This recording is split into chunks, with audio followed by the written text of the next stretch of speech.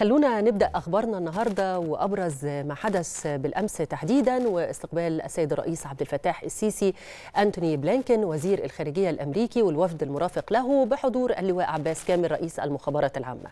لقاء شهد التباحث بشأن الأوضاع الإقليمية خاصة في قطاع غزة والأراضي الفلسطينية والتصعيد المستمر من قوات الاحتلال الإسرائيلي وكذلك شهد الاجتماع عرض للجهود المصرية للتواصل مع كافة الأطراف الحقيقة بهدف الوصول إلى وقف فوري لإطلاق النار وضمان نفاذ المساعدات الإنسانية إلى أهالي القطاع. كمان هبة بالأمس الدكتور مصطفى مدبولي رئيس مجلس الوزراء قام بجولة تفقدية في عدد من المشروعات بمنطقة السخنة الصناعية.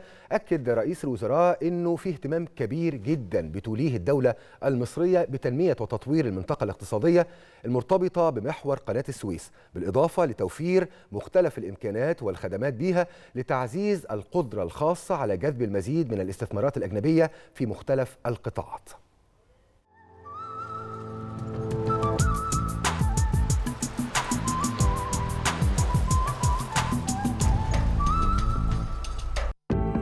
أخبار كتيرة مهمة حصلت امبارح. أبرزها تلقي الرئيس عبد الفتاح السيسي اتصال هاتفي من رئيس وزراء المملكة المتحدة ريشي سوناك تناول تطورات المشهد الإقليمي في ضوء الأوضاع الراهنة في قطاع غزة. وتم استعراض التحركات والاتصالات الجارية للدفع في اتجاه وقف إطلاق النار وحماية المدنيين وتبادل المحتجزين.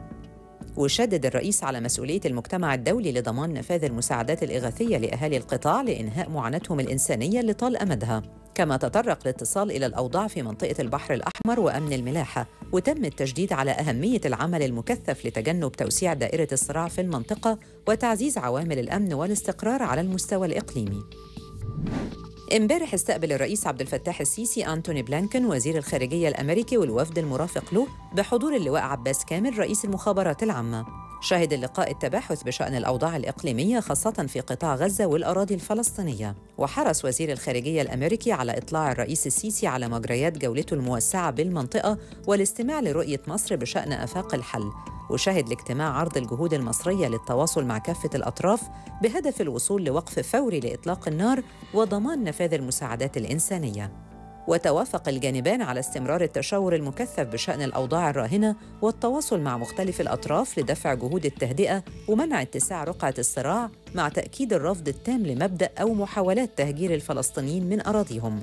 مع التمسك بمسار حل الدولتين كأساس تحقيق الاستقرار في المنطقة. امبارح قام الدكتور مصطفى مدبولي رئيس الوزراء بجولة تفقدية موسعة في عدد من المشروعات بمنطقة السخنة الصناعية الواقعة ضمن نطاق المنطقة الاقتصادية لقناة السويس. استهلها بتفقد أعمال تطوير ميناء السخنة. وأكد رئيس الوزراء أن هذه الزيارة تأتي في إطار الاهتمام اللي بتوليه الدولة لتنمية وتطوير المنطقة الاقتصادية المرتبطة بمحور قناة السويس وتوفير مختلف الإمكانات والخدمات بها لتعزيز قدرتها على جذب المزيد من الاستثمارات الأجنبية في القطاعات المتنوعة. بما يدعم دور هذه المنطقة في زيادة فرص التشغيل ودعم الصادرات وخدمة الاقتصاد الوطني. امبارح وخلال جولته بمنطقة السخنة تفقد الدكتور مصطفى مدبولي رئيس الوزراء أعمال تطوير ورفع كفاءة طريق السويس السخنة بطول 60 كيلومتر وتابع رئيس الوزراء تقدم معدلات تنفيذ أعمال تطوير الطريق ليصبح بعدد ست حارات مرورية لكل اتجاه منها ثلاث حارات للنقل الثقيل ورصف خرساني بإجمالي عرض 56 متر وجزيرة وسطى بعرض متغير.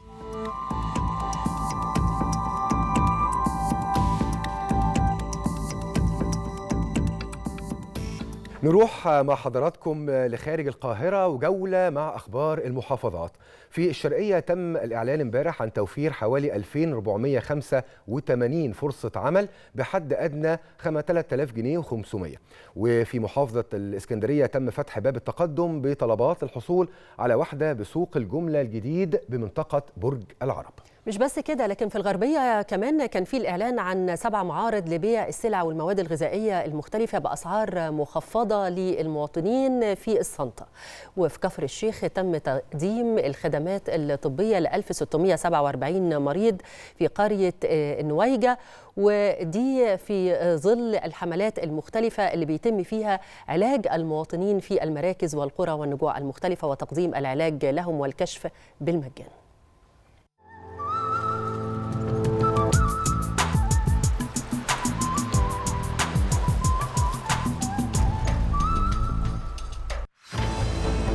محافظات مصر شهدت امبارح أخبار كتيرة. في الشرقية أعلنت مديرية العمل أنه تم توفير 2485 فرصة عمل لمواطني المحافظة وشملت الوظائف عدد من التخصصات من بينها سائقين وعمال إنتاج ومهندسين وعمال وغيرها من التخصصات.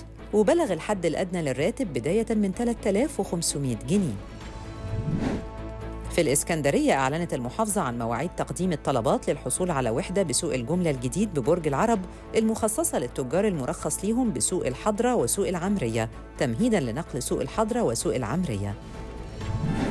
في كفر الشيخ نظمت مديرية الصحة قافلة طبية مجانية في قرية النويجة بمركز دسوق في إطار المبادرة الرئاسية حياة كريمة. تضمنت القافلة العديد من الخدمات الطبية المتنوعة واستفاد منها 1647 مواطن كما تم إجراء 109 تحليل طبي بين معمل الدم ومعمل الطفيليات.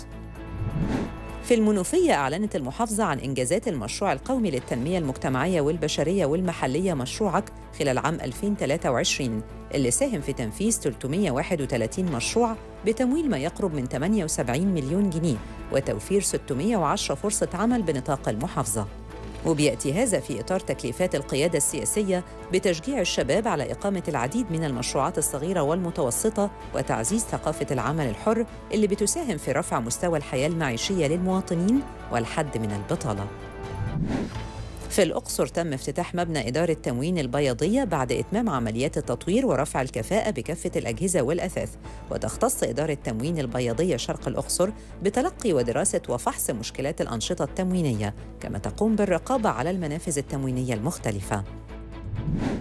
في الدقهلية أعلنت شركة مياه الشرب والصرف الصحي عن قيامها بقطع المياه لمدة 8 ساعات غدا السبت عن بعض القرى في مركز السنبلاوين بداية من الساعة 6 صباحاً حتى الساعة الثانية مساءً وده الإجراء الصيانة. في الغربية أعلن مركز مدينة الصنطة عن التوسع في إقامة معارض ومنافذ بيع السلع الغذائية بمختلف القرى لتوفير السلع بأسعار مخفضة وتلبية لاحتياجات المواطنين وإحكام الرقابة على السلع والأسواق ومواجهة كافة صور الغش التجاري والاحتكار خاصة في السلع الأساسية. وتم إقامة سبع معارض للسلع الغذائية والخضروات والفاكهة اللي بيتم بيعها بأسعار مخفضة مقارنة بمثيلتها في الأسواق وبتشمل السكر، الزيت، السمن، الرز، المكرونة، الدقيق، الخضروات، الفواكه واللحوم. في المنيا أعلنت المحافظة أن مديرية القوى العاملة هتواصل العمل للحد من مشكلة البطالة من خلال عدد من المحاور سواء التعيين في منشآت القطاع الخاص والاستثماري أو في مجال التدريب أو رعاية العمالة غير المنتظمة وغيرها من القطاعات. وتم تعيين 675 شاب وفتاة بمنشآت القطاع الخاص والاستثماري من معظم المؤهلات خلال ديسمبر الماضي.